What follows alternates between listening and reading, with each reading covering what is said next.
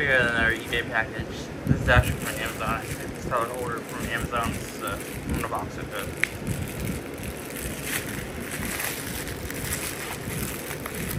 Hold on.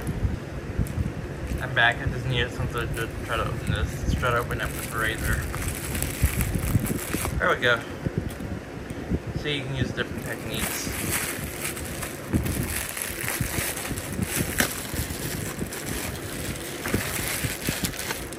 So here's some rubber. I'm using this for my crown amp and subwoofer I'm getting. Should see, obviously. There's some adhesive, that's nice, but put a lot of that. Probably only need like four for the amplifier. Definitely need more for this subwoofer because it vibrates a lot.